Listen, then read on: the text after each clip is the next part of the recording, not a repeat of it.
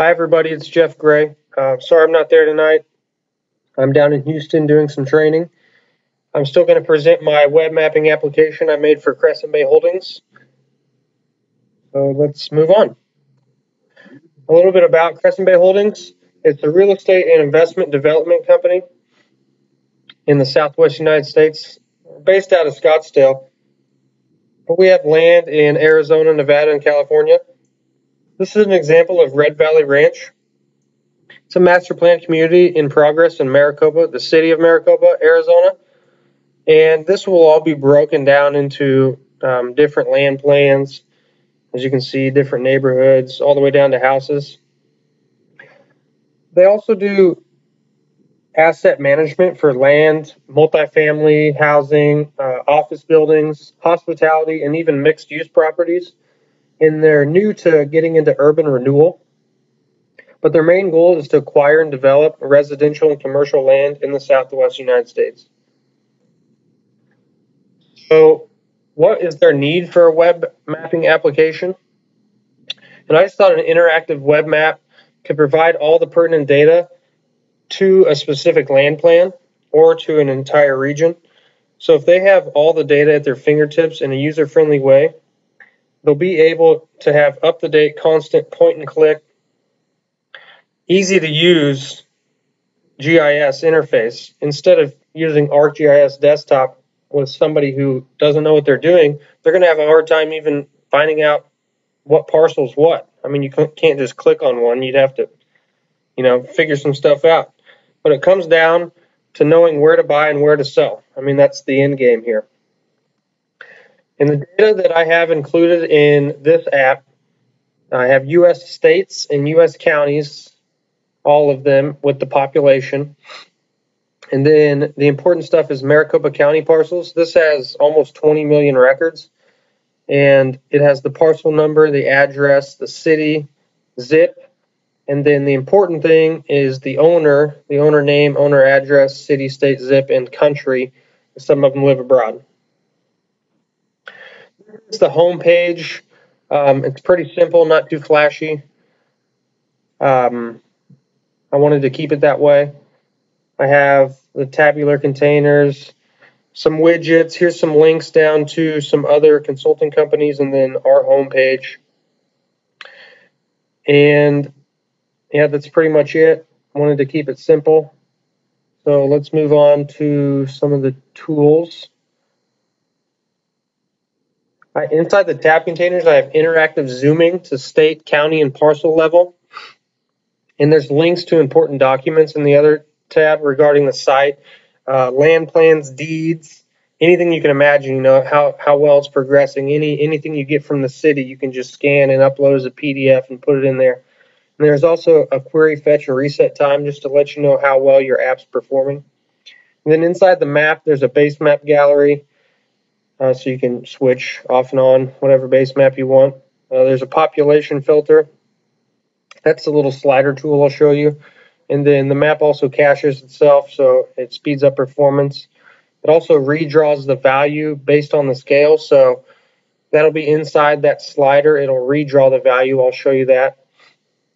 And then it also redraws within Zoom extents, so you have to pan and zoom. Everything's not going to draw. You're just it's just going to draw what you see and that speeds up everything, especially when you have so many records. And then also information pop-ups for every level, state, county, and parcel. So starting with the interactive zoom and redraw time, as you can see here, um, here's your interact tab. You just click on, you start at state level, so you click on counties and it'll zoom you down into county level. I have it centered on Maricopa County because that's the county we use the most. So when you click on parcel level, it'll take you all the way down. And then all these polygons are shown, or the other one's drawn. So if, if I were to click and, and pan one way or the other, um, that stuff's going to be drawn. And down here, it's going to show you, well, get that thing out of the way. But down here, it would show you how many milliseconds it takes. Oh, there you go. How many milliseconds it takes and shows how well your web page is performing.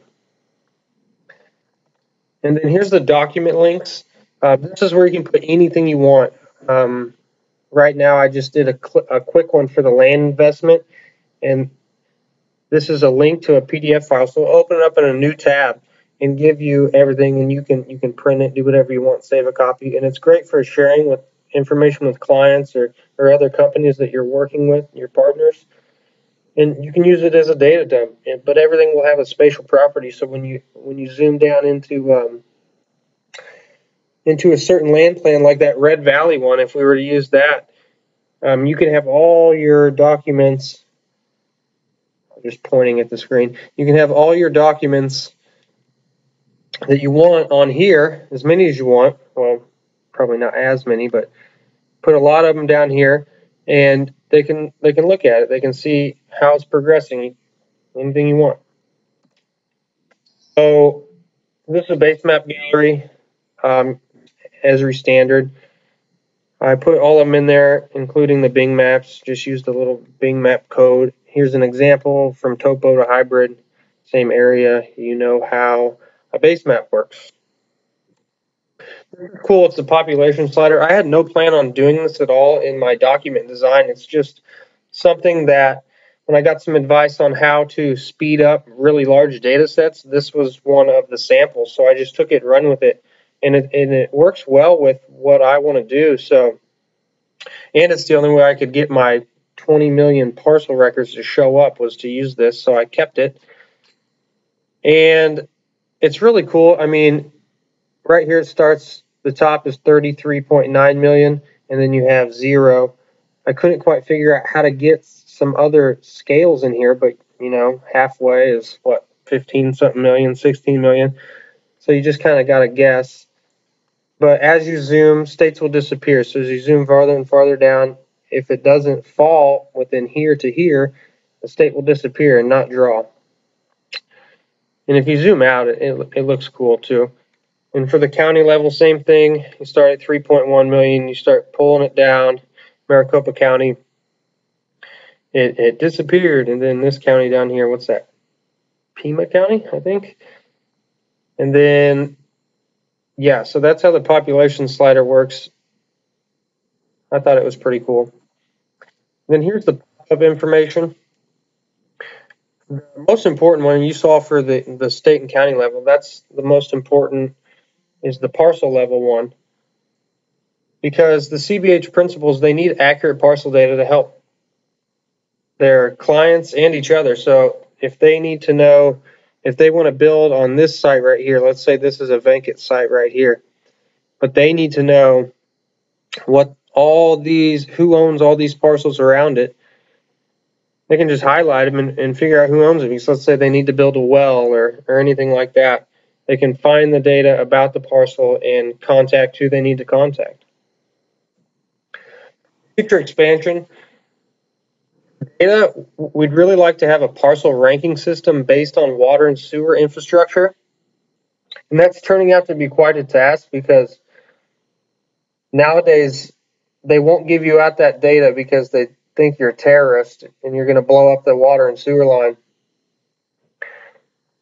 But they'll give you the as builts. They won't give you the GIS data so you can like do something with it, but they'll give you a picture map, which makes no sense to me because all that does is make my job impossible.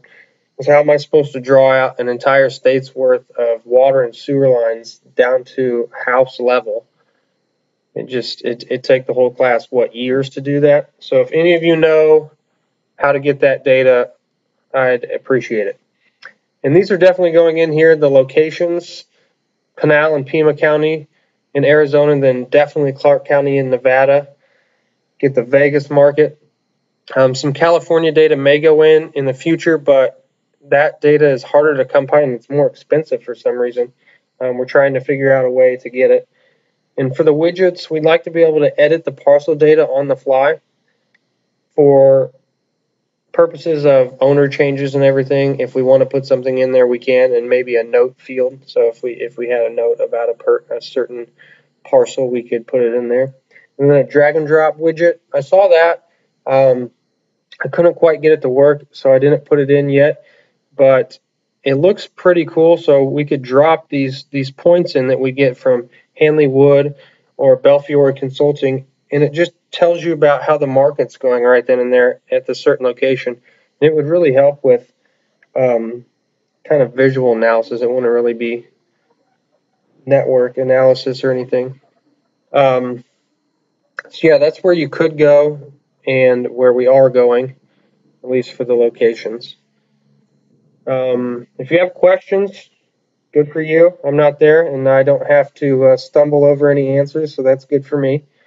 Thanks for bearing with me for this video. I know it wasn't great, but um, it's what I could do. So thanks again, and I will see you next week. Good luck.